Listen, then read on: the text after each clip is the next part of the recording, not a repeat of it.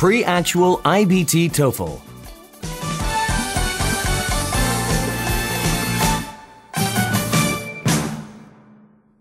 Directions.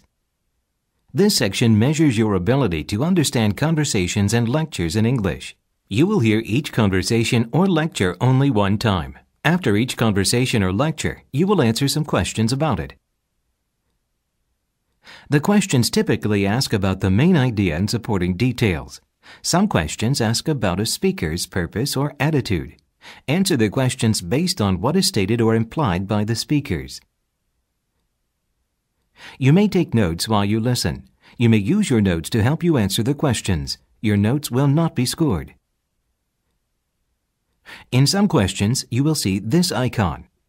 This means that you will hear but not see part of the question.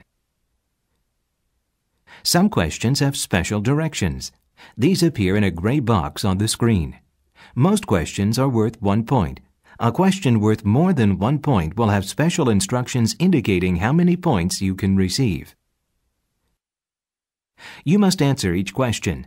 After you answer, click Next. Then click OK to confirm your answer and go to the next question.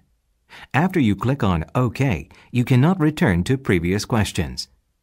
You will have 20 minutes to answer the questions in this section.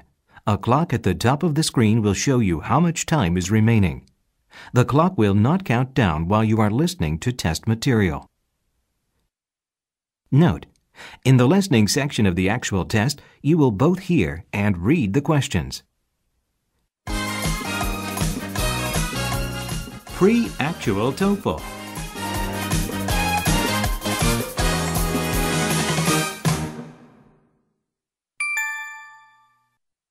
Passage 1 Listen to part of a lecture in a business class. Business Organizations Today we are going to discuss the formation and organization of businesses. One of the reasons I want you to understand about types of businesses is that nearly half of new businesses fail within the first two years. As business students, you will need to understand the formation of businesses to understand your role in the business world after you graduate from university. If you're an accounting major, you will need to know about businesses for different reasons than business students who continue on to study law.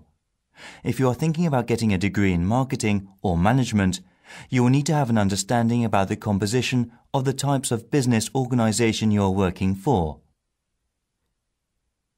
You will find there are various types of business organizations and that there are differences in each kind because of the different factors which must be thought about and which are important when forming a business organization.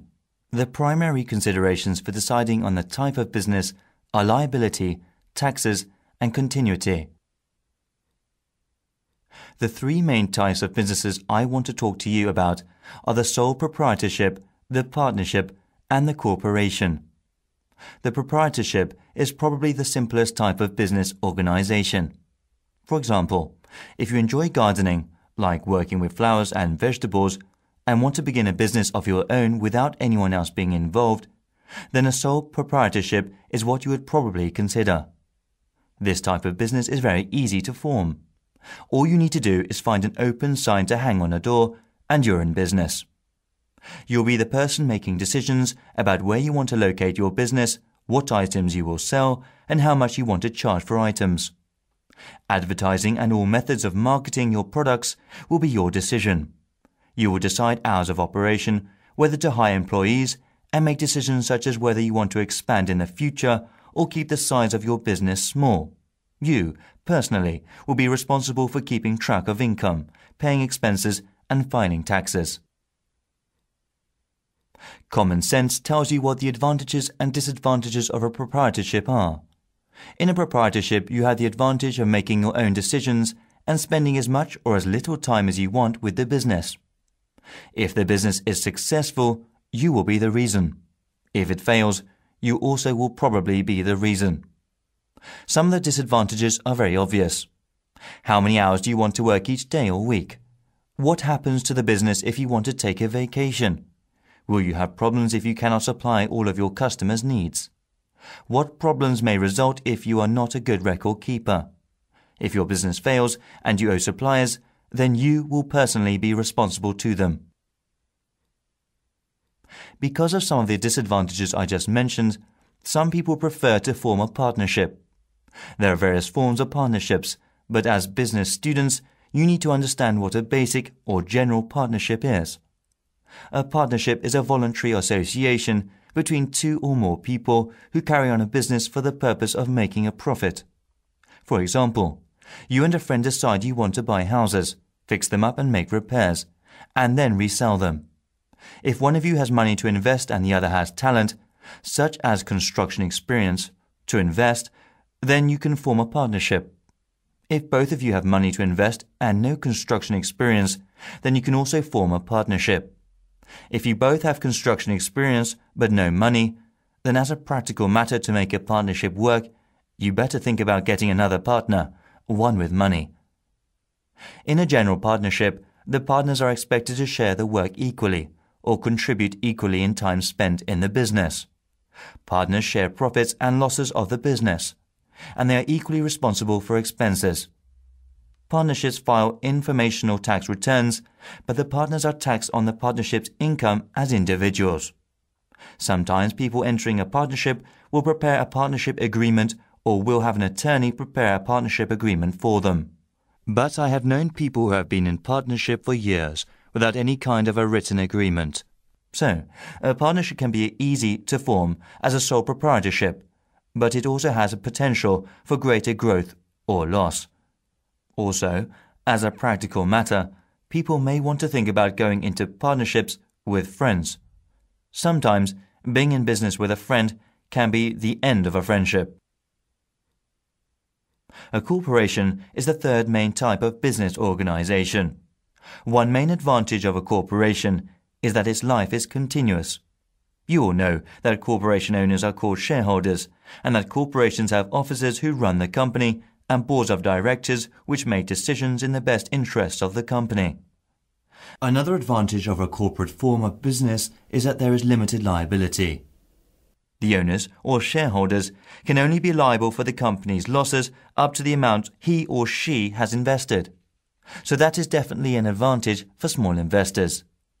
One of the main disadvantages of the corporate form is that there is, can be a greater taxation. But there are accounting decisions which can make the tax bite less. Remember, you are not yet owners, accountants, managers, attorneys, or corporate officers. At this point in time, you do not need to have a detailed understanding of any of the business forms I have discussed.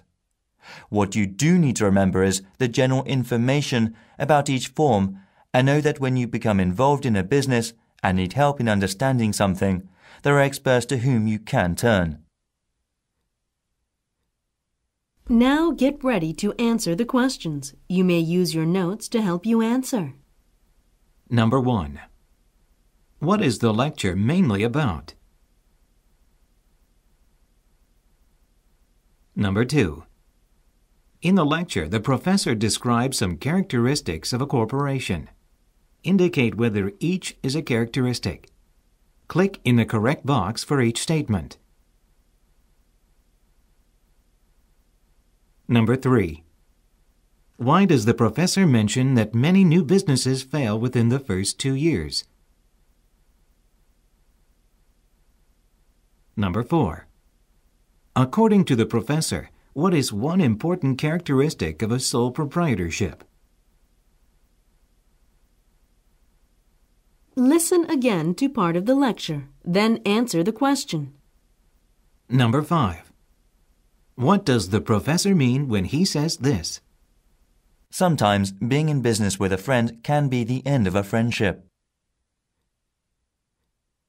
Listen again to part of the lecture, then answer the question. What you do need to remember is the general information about each form and know that when you become involved in a business and need help in understanding something, there are experts to whom you can turn. Number 6. Why does the professor say this? There are experts to whom you can turn.